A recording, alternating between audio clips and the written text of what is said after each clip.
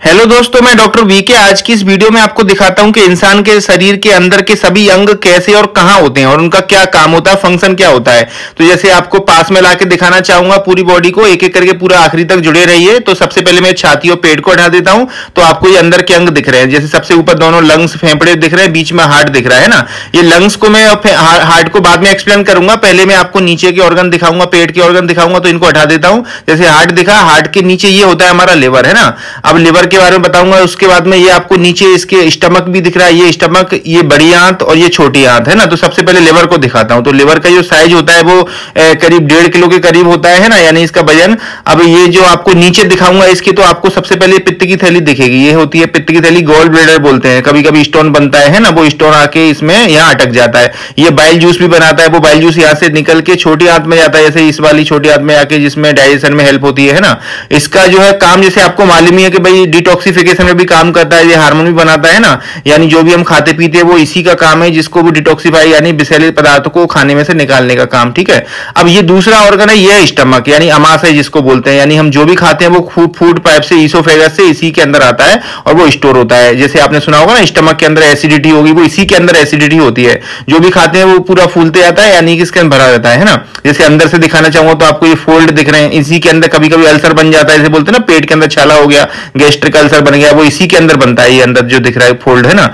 अब इसके बाद में ये जो खाना जाता है, वो छोटी आंत में चला जाता है, यहाँ से इसमें इसका पहली पार्ट जो पार्ट होता है, छोटी आंत का, ये है ड्यूडेनम यानी छोटी आंत का स्मॉल इंटेस्टाइन का फ़र्स्ट पार्ट फिर ये दूसरे नीचे के पार्ट देख रहे हैं, इस ड्यूडेनम के बाद जेजुनम और इलियम ठीक है? जैसे ये जेजुनम इलियम छोटी आंत के आगे के पार्ट होते हैं, ठीक है? अब जो छोटी आंत का खाना होता है, वो फिर जाता है बड़ी आंत में। जैसे मैं आपको दिखाना चाहूँगा थोड़ा इसको लगा देता हूँ, ये निकल गया है बड़ी आंत का पहला पार्ट जिसको हम इलियम बोलते हैं, है ना? सीकम बोलते हैं सॉरी इसको सीकम को फिट कर दिया है। तो जैसे खाना खाया छोटी आंत से घूमता हुआ आएगा, इस वाले पॉइंट से ये बड़ी आंत में जाके मिल जाता है ना? यानी बड़ी आंत का ये वाला पार्ट है सीकम। अच्छा इस बड़ी आंत की स्टार्टिंग में लार्ज इंटेस्टाइन की स्टार्टिंग में ये होती है हमारी अपेंडिक्स की नज़र सुना है अपेंडिक्स जैसे कभी कभी इन्फेक्शन होता है, फूल जाती है तो ऑपरेशन करके काट के फेंक दिया जाता है इसको, है ना? तो ये अपेंडिक्स इसके स्टार्टिंग में यहीं पर होता है, बड़ी आंत की स्टार्टिंग में।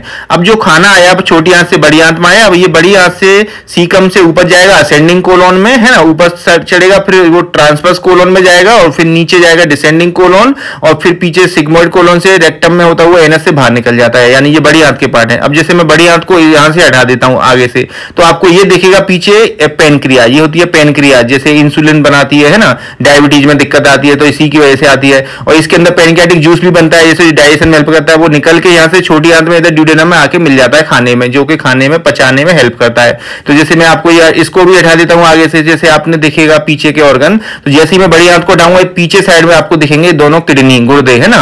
ये राइट किडनी, ये लेफ़्ट किडनी, है ना? अब जैसे ये खून की नस है, जिसमें से खून किडनी में जाके फ़िल्टर होकर पेशाब बनता है, यानी खून से पेशाब बनता है। अब जो पेशाब बनेगा, यानी यूरिन बनेगा, वो ये जो नली है यूरेटर बोलते हैं, यहाँ से निकल के यूरिनरी ब्लेडर पर नीचे, यानी पेशाब की थैली में आ जाता है ना? तो कभी कभी सुना है ऐसे आपने स्टम किडनी के अंदर पतरी बन गई तो वो इसी यूरेटर के अंदर अटक जाती है, जैसे कहीं भी यहाँ पर या यहाँ पर कहीं भी अटक सकती है वो, है ना?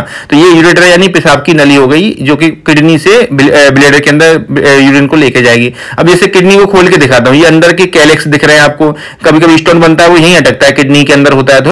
अच्छा ये किडनी के ऊपर आपको दो ग्लैंड और दिख रहे हैं। इनको बोलते हैं सुप्रारीनल ग्लैंड ये हार्मोन बनाती है एड्रीनलिन नॉन एड्रीनलिन है ना? अच्छा इसके बीच में ये अयोटा दिख रहा है, यानी कि एब्डोमिनल अयोटा इन्फिया वेना कावा दिख रही है।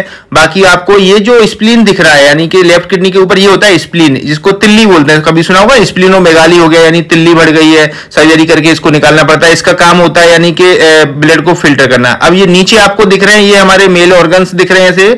अब जैसे इसको मैं बाहर निकाल के दिखाता हूँ आपको, जैसे ये ब्लेडर हो गया, ये पीछे रेक्टम दिख रहा है ना? अब देखो रेक्टम से जो खाना होता है, पूरा पीछे रेक्टम से एनस के थ्रू बाहर निकल जाता है। ये है एनस यानी कि मल द्वार होता है।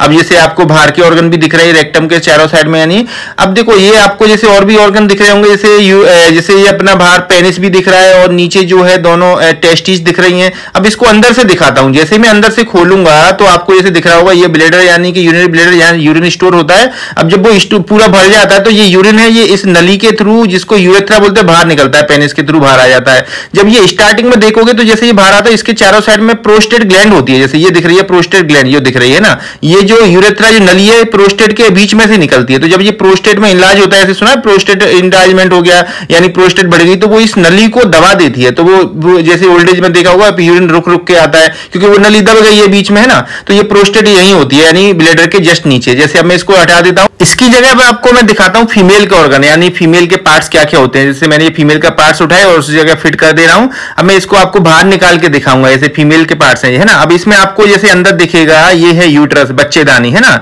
अब बच्चेदानी के सामने यूरिनरी ब्लड यानी पेशाब की थैली, इसके दोनों साइड में होती है फेलोपियन ट्यूब यानी बच्चेदानी की जो नस होती है, नली होती है, ये वाली। अब इसके सामने ओवरी होती है, अंडा से होता है है ना? अब जैसे मान लो आपको ये आगे साइड में वलवा दिख रहा है, यानी वयाना वगैरह होती है इसके अंदर, और नीचे साइड में आपको दिखेगा एनस यानी मल द्वार जिसके थ्रू स्टूल पास होता है, ऊपर बलवा दिख रहा है। अब जैसे मान लो इसको मैं अंदर से दिखाता हूँ खोल के आपको, ठीक है? तो जैसे मान लो ये इस तरीके से लगा रहता है तो पीछे ये होता है बच्चा, यानी यूट्रस के अंदर बच्चा है, जैसे अभी इस बच्चेदानी के अंदर, मान लो ये जो मैं इसको लगा देता हूँ इधर, अब ये इसके सामने, यानी पेशाब की थैली आगे होती है बच्चेदानी के, और इसके पीछे जो देखेंगे रेक्टम होता है ना? ये वयाना है, जहाँ से ये बच्चा जब बड़ा हो जाता है, डिलीवर होता है तो इसी वाले वयानल रूट से ये नॉर्मल डिलीवरी में बाहर आता है ना? तो जैसे ये आगे ये यूरेथ्रा होता है, यानी जिससे पेशाब पास होता है विलेडर से बाहर, है ना? अब देखो, अब बाकी के आपको ऑर्गन दिखाता हूँ मैं आपको। तो जैसे इसको जैसे मान लो अब ऊपर की हम बात करते हैं लंग्स वगैरह की, यानी छाती के ऑर्गन बचे हैं। तो पहले मैं ये लंग्स को दोनों लगा देता ये है हमारे दोनों लंग्स ये लेफ़्ट और ये राइट लंग है ना?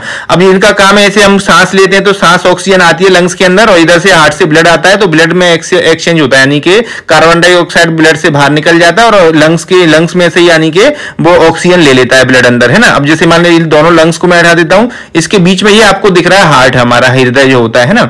अब जैसे मान लो इसका काम है ऐसे कि ब्लड पंप करना ऐसे सुपियर वेना का इन्फेयर वेना का वैसे आता है लंग्स में जाता है लौट के फिर इधर की आ जाता है, इसके अंदर ब्लड अब ये इसके थ्रू ब्लड पूरी बॉडी में फ्लो होता है आयोटा के थ्रू है ना? अब जैसे मान लो इसको मैं बाहर निकाल के दिखाता हूँ तो अंदर से देखेंगे अच्छा पहले बाहर का दिखाऊँगा। ये जैसे आर्टरी है ना, जैसे आपने सुना है कोरोनरी आर्टरी होती है, ये लेफ़्ट कोरोनरी आर्टरी है, और ये जैसे सुना है ब्लॉक होगी, ये राइट कोरोनरी आर्टरी है, ये ब्लॉक होती है तो हार्ट अटैक आ जाता है। अब जैसे अंदर से देखें तो आपको अंदर बॉल्व दिख रहे हैं। ये माइट्रल और ट्राइकस्पेट बॉल्व होते हैं अंदर के, और ये आयोटा का valve aortic valve pulmonary valve वगैरह दिख रहे हैं ना। ऊपर एट्रियम है नीचे वेंट्रिकल है अब ये आपको दिख रहे हैं प्रिंसिपल ब्रोंकस जो लंग्स के अंदर हवा को, यानी सांस से लेके आते हैं तो अंदर जाता है। अब जैसे मान लो ऊपर के और बाकी आपको ऑर्गन दिखा ये दिख रहा है पेरोटिड ग्लैंड जो कान के अंदर होती है, जो लार या सलाइवा या थूक बनाती है, वो डक्ट के थ्रू मुँह के अंदर आता है। अच्छा इसमें और भी डक्ट ग्लैंड होती है जो सलाइवा या थूक बनाती है, यानी ये टंग है, टंग के नीचे होती है ये submandibular gland lingual sorry sublingual gland और जो दूसरी होती है सब मैंडिबुलर तो तीन ग्लैंड होती हैं जो कि खून सलाइवा बनाती है। ये है हमारी आँख। अब आँख के चारों साइड में छह मसल्स होती हैं, जिसमें चार रेक्टाई और दो ऑब्लिक होती हैं, जो कि आँख को मूव करवाती हैं ऊपर, नीचे या इधर उधर देखने में, ठीक है? तो ये आँख के यानी मूवमेंट वो मसल करवाएँगी। अब इसके बाद में हम नीचे गले पर देखते हैं तो आपको एक और ऑर्गन दिखेगा, यानी कि ग्लैंड दिखेगी, जिसको हम बोलते हैं थायरॉयड ग्लैंड जैसे पहले ये नस दिख रही है, ये होती है थायरॉयड ग्लैंड है ना? ये थायरॉयड ग्लैंड जैसे सुना है ना टी एस एच और T three T four hormone यानी थायरॉयड हाइपोथायरॉयडिज्म या हाइपोथायरॉयडिज्म हो गया हाइपोथायरॉयडिज्म हो गया, वो इसी में होता है। अब जैसे आप ऊपर चलते हैं ब्रेन में तो ये आपको ब्रेन दिख रहा है। अब जैसे ये मैंने निकाला सेरिबेलम यानी छोटा ब्रेन, ऊपर साइड में बड़ा ब्रेन दिख रहा है, नीचे ये होता है इसके ब्रेन के नीचे, ये हमारा सेरिब्रम है।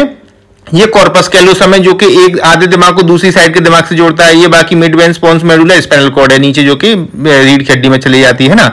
अच्छा इसके बाद में आप पीछे देखेंगे तो आपको ये स्पाइन दिख रही है, ये स्पाइनल कॉर्ड है इसके अंदर, है ना? यानी कि पूरी नस होती है जो कि हमारी गर्दन में से, गर्दन के लिए पेट में से पेट और कमर से नीचे पैरों के लिए निकलती है। जैसे एक स्पाइन को बाहर निकाल के दिखाता हूँ तो ये आपको ये स्पाइनल कॉर्ड दिख है स्पाइन दिख रही है, ये डिस्क होती है और ये स्पाइनल कॉर्ड है बीच में, है ना? ये कभी कभी नस दब जाती है इसमें, है ना? जैसे गर्दन की दबती है तो हाथों में दब जाता है और कमर की दबती है तो पैरों में दर्द जाता है साइड का बोलते हैं, जैसे आपको नीचे दिखाता हूँ, जैसे ये मसल को हटाता हूँ तो जैसे ये ग्लूडियस मसल को हटाऊँगा मैं तो इसके नीचे आपको एक बड़ी नस दिखेगी, जिसको साइटिक नर्व बोलते हैं। जब दब जाती है यहाँ पर तो इस जगह, इस एरिया में दर्द करता है, इसको साइड का बोला जाता है, ठीक है? तो ये आपको जैसे साइटिक का इसी जगह इसलिए पेन आता है। साइटिक सबसे मोटी नर्व होती है साइटिक नर्व जो होती है। अच्छा इसके अलावा आपको और दिखाऊँगा, जैसे ऊपर की मसल्स वगैरह दिखाते हैं अपन तो जैसे आपको ये डेल्टोड मसल दिख रही है, ऊपर ये ट्रेपीजस दिख रही है ना?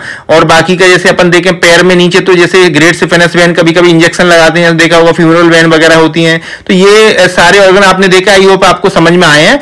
तो अगर वीडियो अच्छी लगी है तो लाइक करें और भाई चैनल को सब्सक्राइब ज़रूर करें। हमारे चैनल पर ऐसी बहुत सारी वीडियो डली है जो आपके यूजफुल रहेंगी, ठीक है? तो चैनल को ज़रूर सब्सक्राइब करें कमेंट करके ज़रूर बताएँ, कोई प्रॉब्लम है तो। Thank you